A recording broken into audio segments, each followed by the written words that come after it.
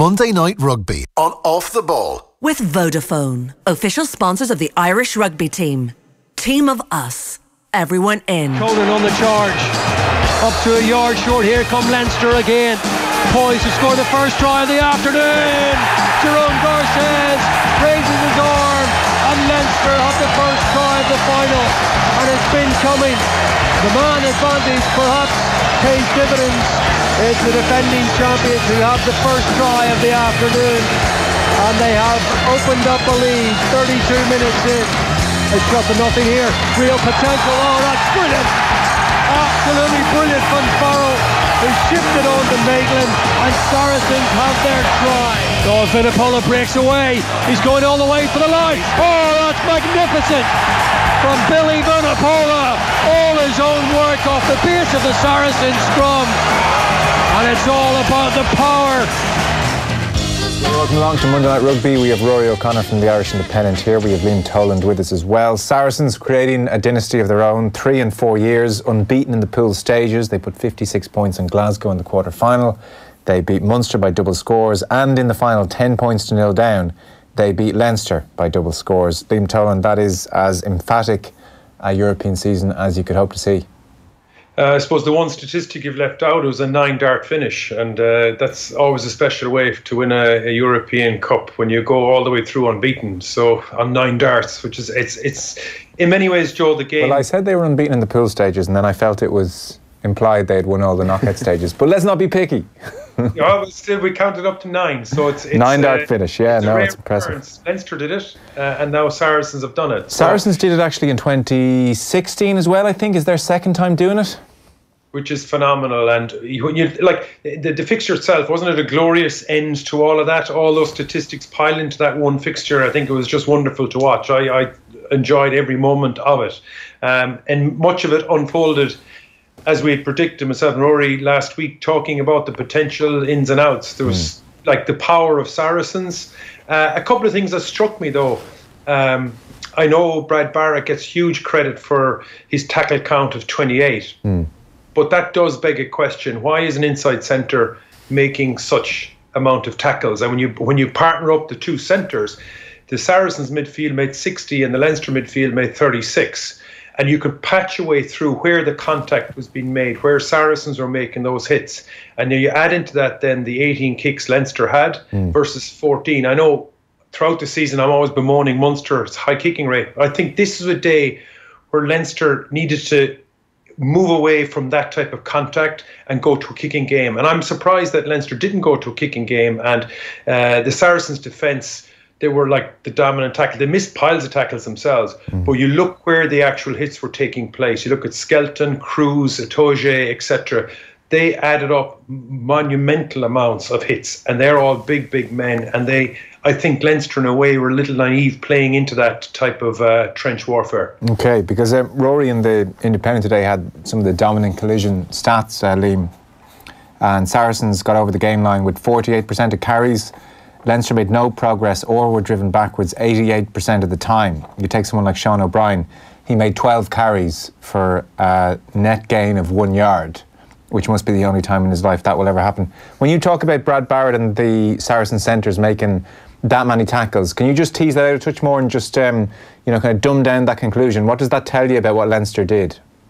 Well, it just tells me that they, they went in with a game plan, um, and when when you keep one eye on what Ulster did uh, in the quarterfinals, and you see what how Ulster sweated on the second carrier, particularly when that was Ringrose, both Ulster midfield defenders just went in and made the hits. Saracens are many times better than Ulster, yet within, went in with a very similar game plan. And, and Leinster, in carrying bravely, uh, and there was variety to their carries, that, of that there's no doubt. But the net result is they're running into monsters, and the monsters like Skelton, I thought he was the player of the first 40 minutes himself in Farrell. I thought they were massive, and an awful lot what Leinster did allowed those guys to dominate. Right. We call this word the dominant tackles, but when you think clean breaks, Leinster made two.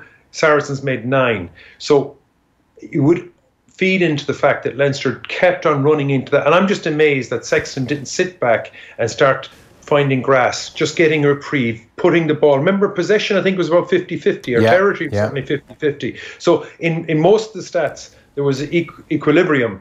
I'm just surprised that Leinster didn't go to a, a kicking game and, and employ that option more regularly, Yeah. just to just to get behind the Saracens and get a bit of reprieve. Yeah, fair point. Ruaidhri, not to draw too many parallels with the game at the Aviva against England, but there's a lot of similar players, and the theme we've just um, kicked off on there is similar as well. Were we not saying the same thing about Ireland's kicking game after England? We were, um, and the failure to adapt is worrying because Leinster did kick three times in the first five minutes. Um, first one was locked down. Second one, they got the ball back from a contestable, and the third one, Jordan, uh, Jordan Larmour kicked it against the legs, and they um, they kind of stopped after that. Uh, and, and there were times the the St James's uh, Park um, press box is really tight to the pitch, and you're really close to the action. And, um, it was just a completely different perspective for those of us working at the game, and it just showed the amount of space Jordan Larmour had in particular in that first half. He was screaming for the ball, and it, if Ross Byrne was playing 10, and I'm, I'm not advocating that Ross Byrne should have been playing 10, but he would have probably cross kicked to him at least once or twice just to,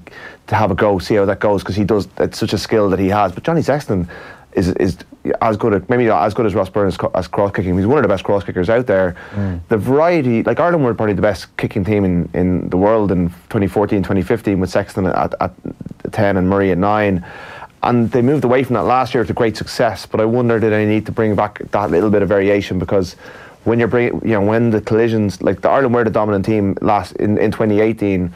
but For whatever reason, whether it's a World Cup, you kind of hope it's a World Cup training program that they're all going to peak and suddenly be powerful again in, in, in, September. But I'm, you know, uh, I'm a little bit worried that might not be the case. But whatever, for whatever reason, England have the English players and you know throwing Will Skelton, Satelli, a few others. Vincent Koch came off the bench and was outstanding on Saturday. Um, and if you're not getting over that gain line, I don't understand why you keep trying it. Um, you know they weren't. The forwards weren't pulling the ball back to that second wave as much. It was much. Sexton was very flat, whereas you know Owen Farrell was much more behind the line, picking and choosing his moments. Um, and yes, it was. And, and Ireland did put themselves in a position where they were still in the game at half time. But I, I, like Leinster had their chances and will leave this game with regrets.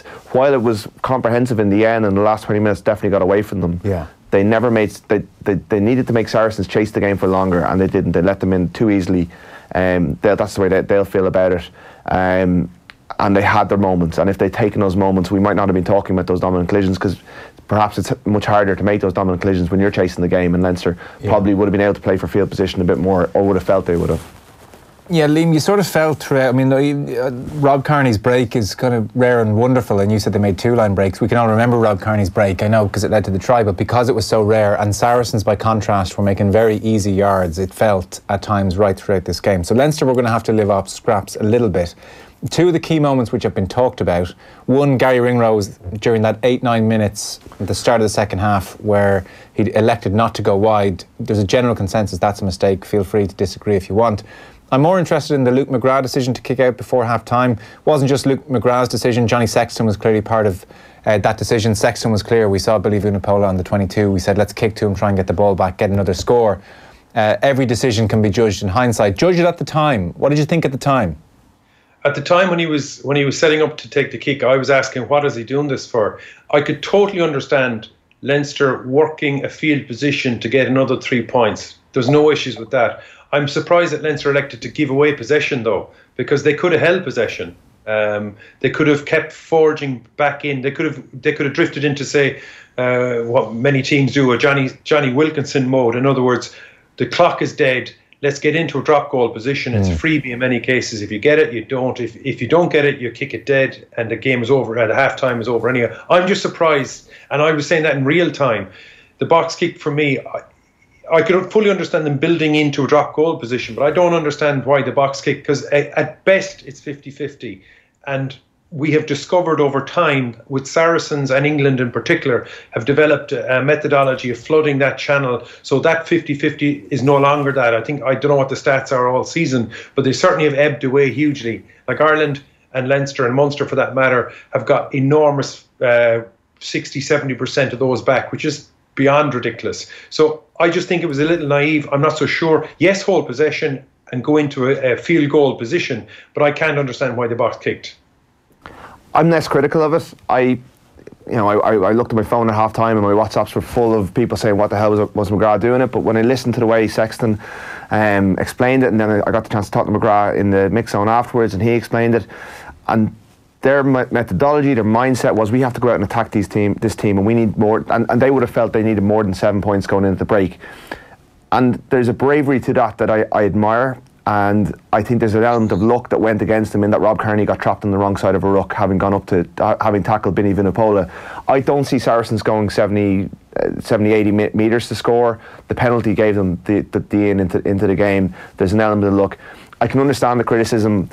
It's it's it's it's a one that we all. It, it's easier for us all to make, but I'd be way more critical of Ringrose for not giving that pass, which would have been the brave move. And I think McGrath I understand his methodology for it. I think he understands why he's getting criticised for it right now. I'm sure as they review it, they'll look at it and maybe next time he won't do it. But I can understand from like I like the idea of going out to attack Saracens. I think you have to beat them by being positive.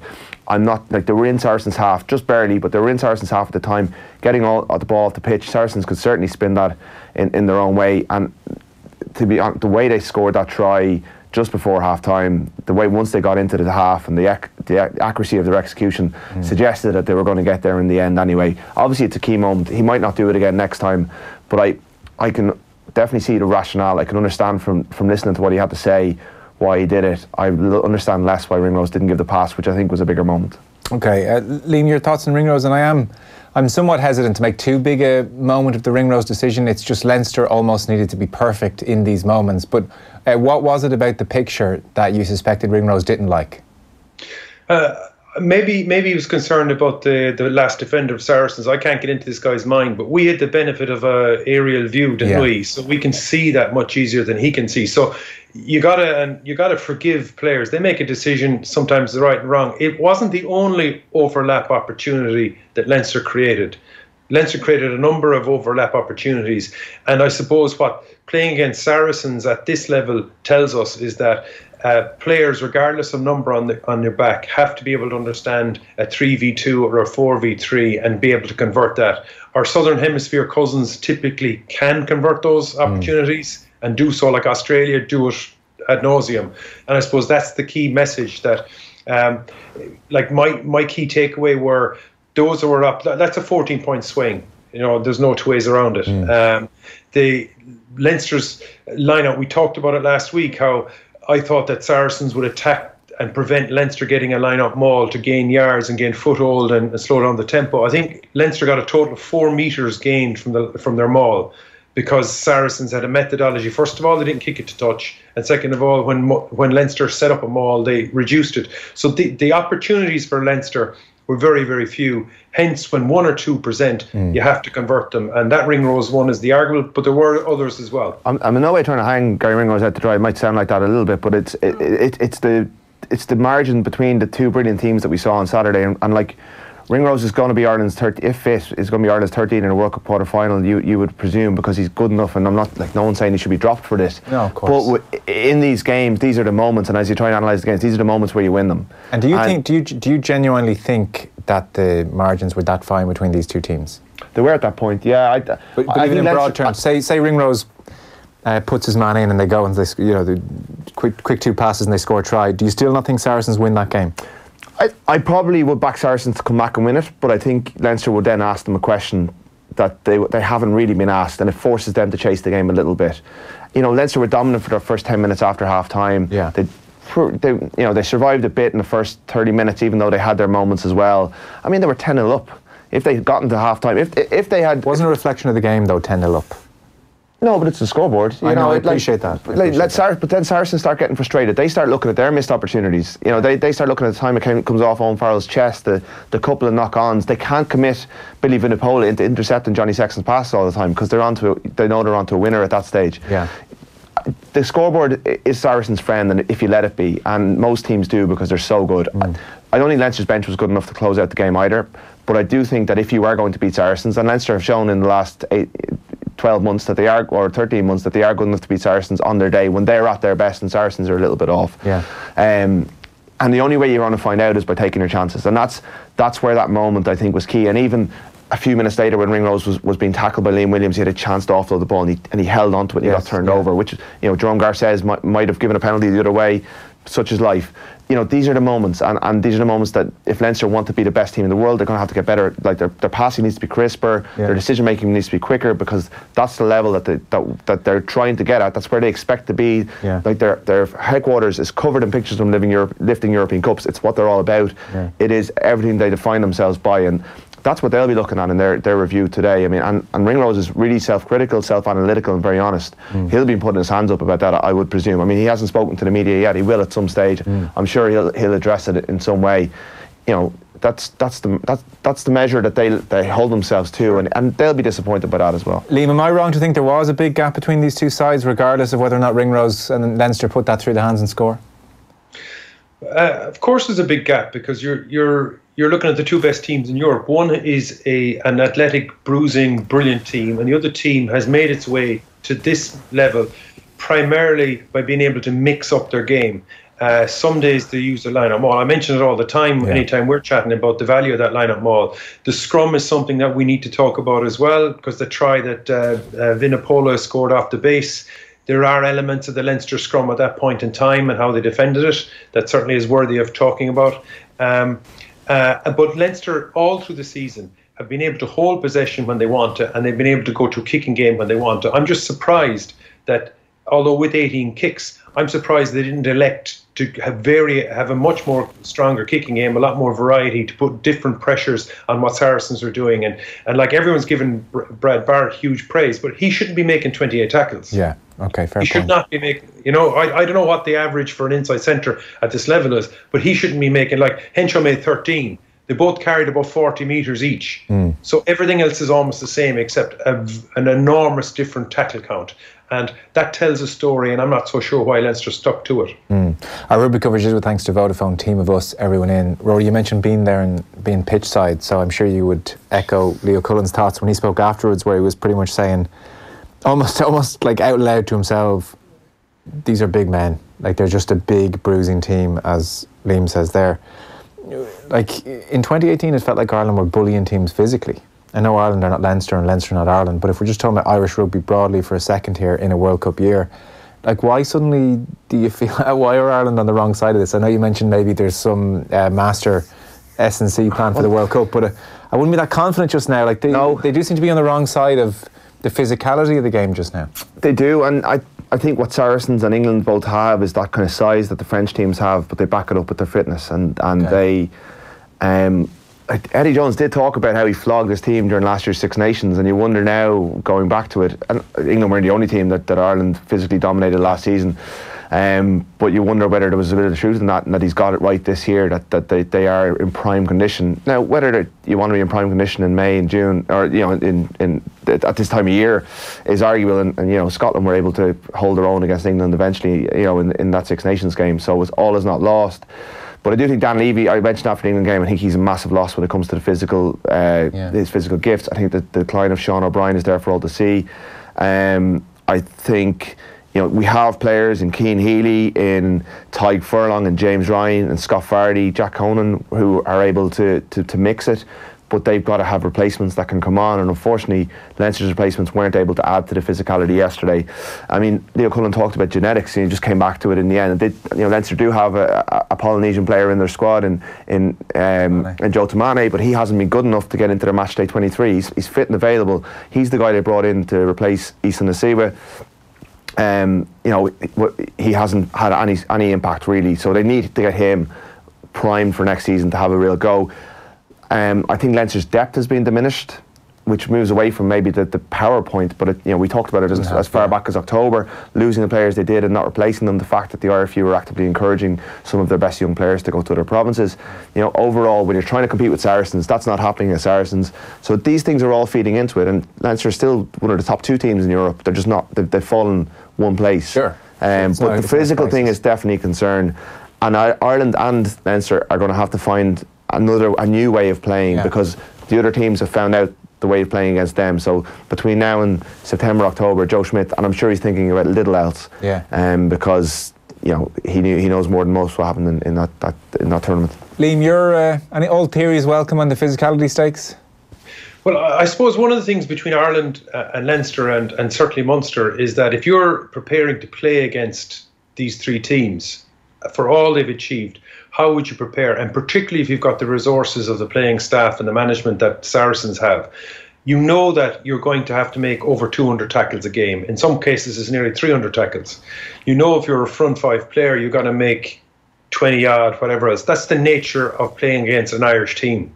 We understand that. So if you're playing as a team that have the ability to, to sustain that, have the fitness to sustain that, and discipline to sustain that, then what's your go-to play? And that's probably what Ruaidhri is is, is hinting at there is how do these teams need to evolve? And I have huge sympathy. I think maybe my tone is a little bit negative, and it isn't because I agree, Ruaidhri, that this Leinster team deserve all the praise we can give them. So I, am not coming to this from a tone of negativity in any sense. I'm just a little bit disappointed some of the style of tactics they played, but they deserve huge, huge credit. Mm. Um, how the game needs to evolve, and if you think with one eye on Ireland playing in the World Cup, mm. um, we have learned enough times now that if the opposition can sustain, can go into 240, 50 tackles in a match, then we might run into trouble how to break them down. Mm. Particularly the style of the tackles and, and what Leinster did there, and the, the running into the it, running into the corridor of power and being dominated um, is a bit of a concern. Um, you look at, say, the the Vunipola try that was scored off the base of the scrum. At that stage, Barrington and Koch had been on the pitch for over half an hour. That's that front row substitution took place in 29 minutes or whatever it is. Uh, Jack McGrath had come on. It was a dead steady scrum for uh, for um, Saracens. Mm. Uh, Leinster couldn't shift it in any way, couldn't disrupt the pickup. So much so that Vunipola, normally when you're a, an open side defending that, like you really are concerned about what a, a, ball player of his caliber is going to do. His right arm stayed connected to the scrum, so if you're looking up, you can't even see him detach. His big left paw just picked the ball up in one, and he got six full paces before anyone made contact. So just not being able to disrupt that platform at that point in time, not being able to put some pressure on number eight picking up is is a concern. And then I'd feel for Rhys Ruddock, but when he came around, there were six paces. He's an impossible man to stop at that stage. Yeah. You, as an open side, you got to be right in the corner just as he's picking the ball up and meet him right there before he even takes one step.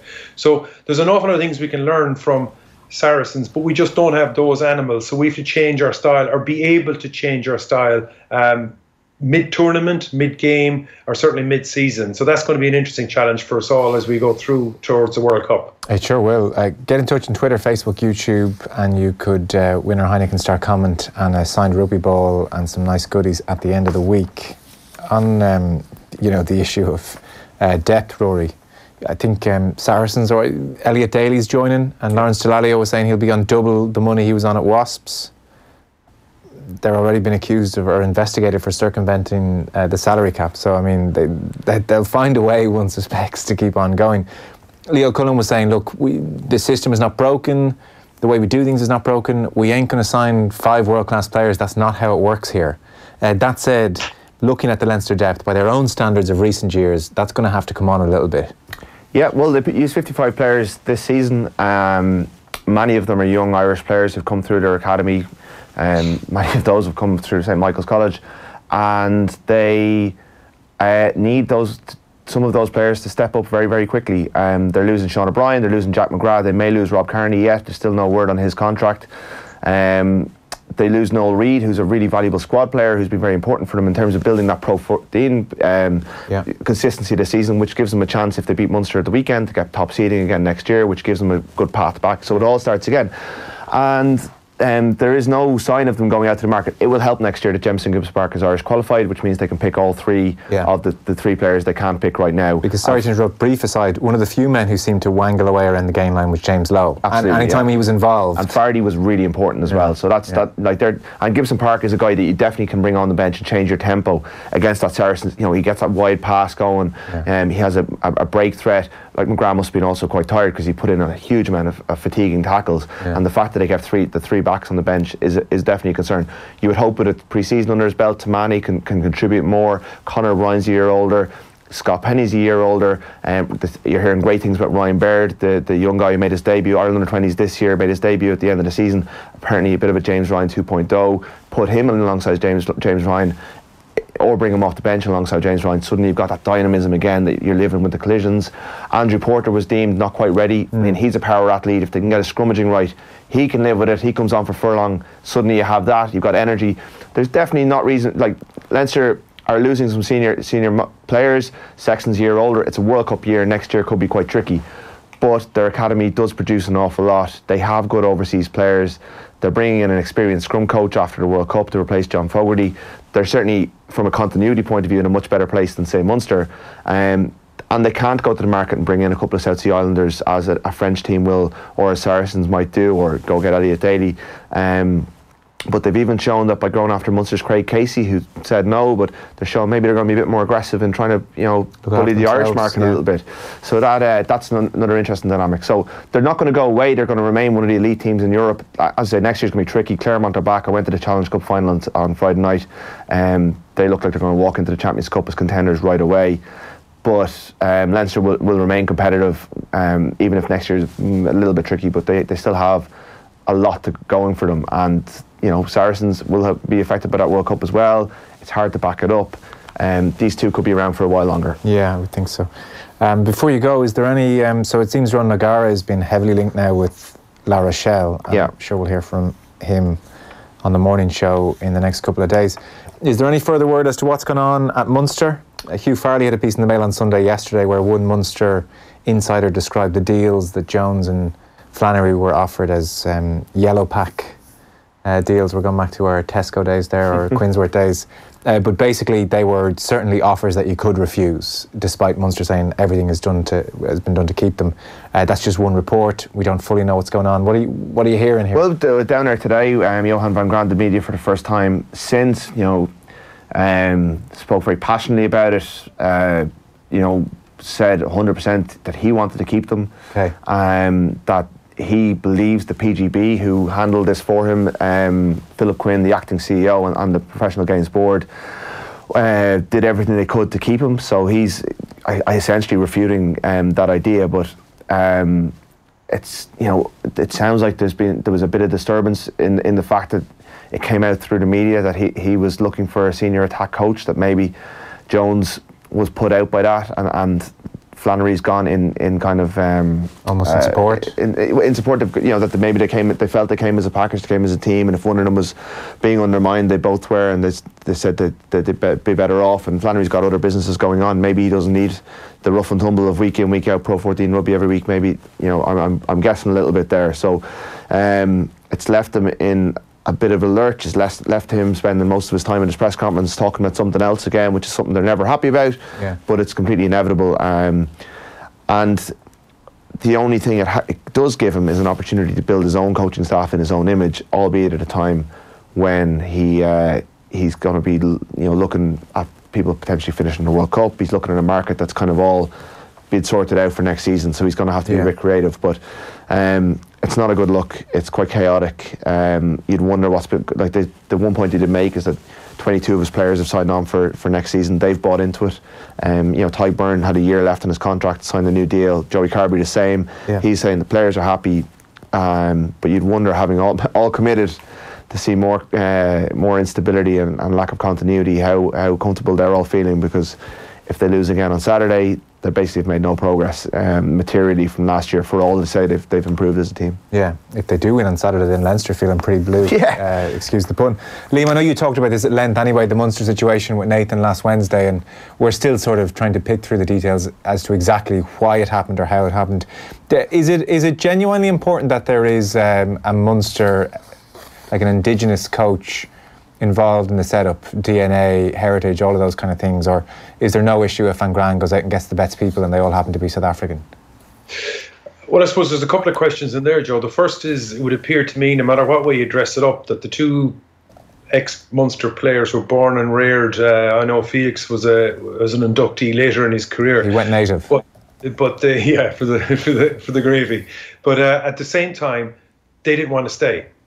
So whatever way you want to dress it up, they yeah, didn't okay. want to stay. Yeah. And and that is not a good that is not a good thing when you got players uh, people and characters of that character the second thing is around the south african thing like the, mo- the more we've watched munster and i think leinster are vulnerable this weekend primarily because the emotional roller coaster of last weekend to this weekend like you, how do you estimate the damage that could be they're vulnerable that all said south african rugby is not necessarily how uh, munster need to play their rugby. And the more and more the weeks go by, the more and more you see um, one out carrying, uh, a bish bash bang type of rugby going on. And I think it needs to evolve. Now, whether South African personnel are the people to do that, history would suggest no, because you know Erasmus isn't that type of coach, and I don't think South Africa are going to end up playing that type of rugby. So um, I would hope that a huge amount of the Munster character and DNA remains in situ because it is wonderful. It's it's a world club. Uh, that said, in order to get into semi-finals, we know they can get. We know Munster and Leinster, and indeed Ulster can get into the playoffs.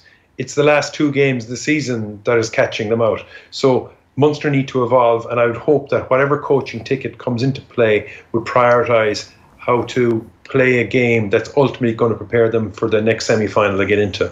Okay, we'll leave it there. Liam, thanks as ever, appreciate it. And Ruaidhri. O'Connor from the Irish Independent, thanks for coming in, Roy. Cheers, Joe. Monday Night Rugby on Off the Ball. With Vodafone, official sponsors of the Irish rugby team. Team of us, everyone in.